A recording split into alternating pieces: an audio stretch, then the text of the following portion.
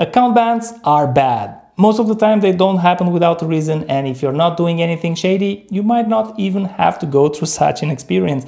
But there are situations when no matter the fact that you are abiding to all the rules, you might still get banned. It can happen because your growth is too fast or because they suddenly realize that they don't support your type of business. If you have a lot of disputes or chargebacks, they can ban you. Legal information mismatches like different addresses for your company, PayPal accounts, and banking information will get you in trouble as well. If you have unfulfilled orders and lots of customer complaints, all this will get you in trouble and at risk. But the one that is the most annoying to understand is when you get banned because you logged in from a different location than usual. Let's say you're traveling because you worked hard and you build a business. All you have to do is log in once in a while and check on your stats and check on your theme. Easy, right? But wait, Shopify, PayPal, Amazon, all these big platforms have their own requirements when it comes to logins. You log in from different locations, you can get flagged and your accounts can get closed. I know, right? This kind of freezes can take up anywhere from days to months time in which you cannot run your business. You lose a lot of time trying to reach someone to help you and all that time your money will be frozen as well. Not to mention that you can even lose those accounts for good, including your hard-earned money. But you don't have to get there and I'm gonna show you how you can avoid this situation altogether. I had a couple of customers of mine with multi-store setups come to me for advice on how to manage all these accounts and luckily after some serious digging around, I found just the solution. You don't have to use VPN or VPS anymore. This solution I'm to show you will create a unique browser environment for each of these problematic accounts and that platform will never know that you are actually traveling. They will always see the same browser with the same configuration. Let me show you. So this is the website of the app I'm going to talk about. If you go to zibird.com, you're going to see this page. And if you scroll down, you're going to see a comparison with VPS. If you've been using VPS to manage your multiple accounts, then you know that you're going to get a dedicated IP. You get that with Zibird as well. You're going to get secured management on both of them. Speed, in terms of speed, you know that if you're working on a VPS, which stands for Virtual Private Server, you're gonna have some trouble running things. A VPS can get clunky at times where with Zibird you get everything on your machine, on your computer, and it runs like a browser like Chrome would. And I'm going to show you that in just a second. You can of course have multiple users log into your VPS using the same credentials, but that's not a good practice. Zibird has a nice user management system built in. The file management system on a VPS also can get messy on Zibird, everyone gets their own space, so you don't get files from anyone else in your own space. And there are other advantages here. You can check those out. You can read everything about Zibird, but most important, go ahead and download the app on your computer and have that installed. And once you do, you're gonna get something looking like this. So this is the Zibird dashboard before setting anything up. You get this window here and you get the sidebar. And how Zibird works is that you're gonna have to go and create a profile for each of your accounts. So for example, if you have multiple Shopify stores, if you have multiple PayPals, if you have multiple Amazon stores in different areas, in different selling areas, then you can go ahead and create one of these profiles for each of them and then set this profile to the best practices that are required by those platforms. I'm gonna go ahead and I'm gonna create a new profile and as you know these platforms that we talk about they have certain requirements so I'm gonna create a new profile for my PayPal account. Let's say I have multiple PayPal accounts. I will have to create one of these profiles for each of them so that whenever I log into that PayPal account, PayPal will always see the same fingerprint for my browser. For that, I'm going to select Chrome and then I'm going to select Mac as my operating system. And then I'm going to add my profile group if you have multiple organizations, let's say you have multiple companies, you have two companies and they both have their own PayPal account, you want to group them and have them organized and you can do that in here. I'm going to select this one, but you can also leave it empty if you just have one organization. So if you have one company, if you have multiples, you can name them and group your profiles by the company. And then I'm going to just confirm. If you want to enable the encryption, you can do that as well. I'm gonna just confirm as it is. And now I've created one profile. You can go ahead and name this. And now this is the profile meant to be used with that PayPal account. In order to add the PayPal account to this profile, I'm gonna go here to accounts and you can click on edit and you can add in here the information and the credentials for this particular account. So I'm gonna go and select PayPal and as you can see, they have here a lot of uh, platforms. Amazon is known for account bans and account freezes. TikTok Shop, Lazada, Shopify, they all have some issues sometimes. So if you have accounts with these platforms, you can easily set a profile for them and they will never know that you are logging in from a different location. So I'm gonna go at the bottom here where PayPal is and Stripe is also known for this. A lot of Stripe accounts get blocked and sometimes you cannot even recover them. And that's a shame. You can avoid that by using a system like this. So I'm going to go and I'm going to select PayPal and I'm going to select the United Kingdom section because this is the closest to me. If you are closer to any of the other, choose that. If you would have chose a Shopify account, you didn't have to choose a location, but some of these have options for where in the world you are closest to.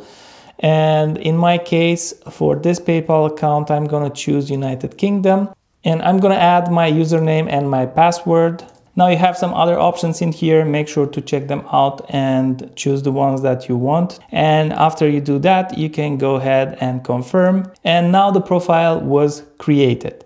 Whenever I want to go ahead and log into my PayPal account, I can just go here and click on start and this will open a browser window in which I can go ahead and operate my PayPal account. And from now on, if I just use this to log into my PayPal account, the fingerprint of the browser will always be the same. So I don't have to worry that PayPal might detect some changes. I'm gonna just click start and I'm gonna have a browser window open and we have now a reminder that this works better with a proxy and I'm going to talk about proxies in just a second. A different proxy will allow you to have a different IP as well, which will increase drastically your privacy and that is actually the best setup you can have for your business. But I'm going to continue without a proxy for now and I'm going to show you how a proxy would work. So I'm going to say continue to use and I'm just going to click on start here and a new browser window will open and this is not my Chrome. This is a Chrome that comes out of Zibird. And now this is the login info for my PayPal. If I click it, I see that I have a password saved already for this account. So I'm going to click that and I'm gonna click on next. And now the password was automatically filled up and I click on login. And now I'm gonna get a text to verify that it's me and I'm gonna click submit. And from now on, I can use Zibird to log in to this PayPal account safely every time. I can go ahead and operate your account, do whatever you have to do in it. This is obviously an older account that I had. And whenever you're done, you can either just close the window or go back to Zibird and click on stop. And this will close up that window and you're done. If I would have to go and use my actual Google Chrome that I have installed on my laptop for doing that, and I have like three, four PayPal accounts, those can get mixed up because this is the same browser. So if I have multiple accounts on the same browser, the cookies are kept in the same place and things can get wrong. But if you have Zibird, you only log into this PayPal account with this profile. So if I go now and I click start, I just open that new browser that is dedicated to this account. So it's like having a device or a tablet. Let's say you have a tablet in your house that is dedicated to be used only with this PayPal account. Whenever you're done, you close the tablet, you put it there, and you only pick it back up whenever you want to log in back to this PayPal account. This is powerful stuff. As you can see, whenever I go and I click start, the window opens and I'm directly logged in like this was the same session. All the cookies from PayPal will get saved on this version of the browser and I don't have to worry about any mix-ups or any conflicts. Imagine you have your organization set in Zibird and you have all your accounts in here. You will have a unique profile for each of those accounts and those platforms will get the same information every time you log in and there will be no mix-ups. Now going forward to proxies, if you want to have a dedicated IP so that you always log in from the same IP no matter where you are in the world, you will need a proxy. And you can buy that from other companies. You already may have one. If you have one you can go ahead and use it in here and you can add one or you can add multiples or you can go ahead and purchase one from Zibird. If you click on this button here you can see the details of the proxies that they offer. You can select a residential proxy. You can have it in North America. You can have it in Europe. I'm going to go ahead with Europe and I'm going to select UK and you can go ahead and select the period of time you want this proxy for. Maybe you are traveling for two months, for three months, or six months. You can select here the period and then this proxy will be available for you all that time. And what the proxy does is to offer you a unique IP and always whenever you're to log in from one of your profiles, you're gonna show that you are in that location. So for example, now if I go and I start again this profile, first I'm gonna see this window where I have my IP. This is my actual IP and I'm going to blur it, but this is my IP here. But if you're gonna travel, this IP will change and that can create issues. So in addition for that unique browser fingerprint you have for PayPal, you may want to always show the same IP as well so that you tell them that you are in the same place even though you're not. So in order to not show your real IP in here, you're gonna have to go ahead and purchase a proxy. So I'm gonna show you now a different account where I have a proxy installed and as you can see, you can have multiple organizations. So if you have different companies with different branches, you can have them all set up in here. I'm gonna go to this different account and I'm gonna show you how a proxy would look like. So we have this profiles created on this account. If I go here and I start this one, for example, this one is set in North America. And once it's started I'm gonna get this window where I see my IP and I have these two other tabs open here because I left them open in my last session. So you're gonna have this saved for you whenever you return you're gonna see the windows that you had open and if I go here to the first tab this is always open so Zibird opens always this as your first tab so that you can see where you are and this is the IP that I have as you can see now I am uh, located in the US magically. So if I go to a different IP checker, I'm still there. So the same information is shown. If I refresh this one, the same information. If I go to Google, for example, and this works as a normal browser. This is actually Chrome, but is simulating as being run from there. So I'm gonna just search here, where am I?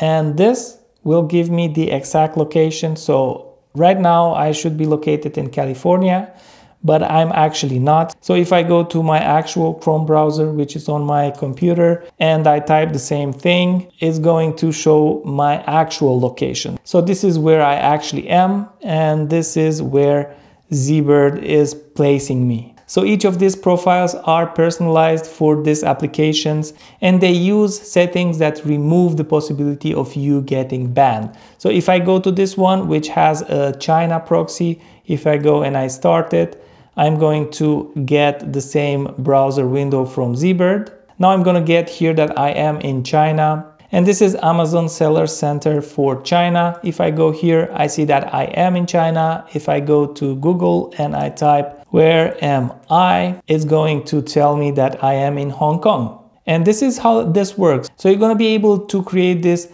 personalized browser experiences for each of your platforms. You can use settings that you know that platform requires or likes. You can go ahead and personalize these profiles to give just the right signals to the platforms so that you never ever get in trouble. If you want to install extensions to your browser experiences, you can do it from here. If you want to add a team member, you can go ahead and add them from here you just click on this button add their email and then select the, the member role they have. Let me go to the other account to show you all the roles they have. So i'm going to go to teams and i'm going to invite someone and in here going to add the email. And then you have administrator manager employee and they all have different types of permissions. Check them out and decide for yourself what permissions you want to give to whom if you want to try out Zibird, go to zibird.com or check out the details in the description. So this is how you can actually get away with traveling and having multi-store setups. Just have Zibird installed and create unique profiles for all the platforms that you're using. And those platforms, they will never know that you are moving around. Staying safe from account bans is really important. Make sure to subscribe to the channel for more Shopify tips. And I think you'll be interested in seeing this video next.